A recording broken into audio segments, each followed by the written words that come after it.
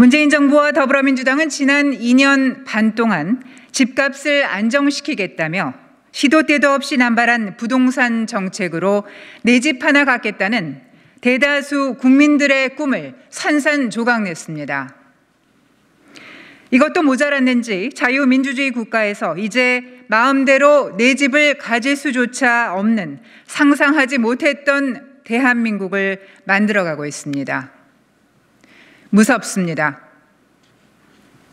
우리나라는 헌법상 사유재산을 인정하는 자유민주주의 국가임을 모르는 것입니까? 망각하신 겁니까?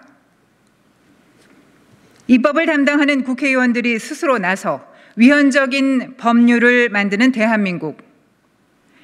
국민들의 일꾼으로 일해야 하는 국회의원들의 이런 행태는 도저히 이해하기가 어렵습니다.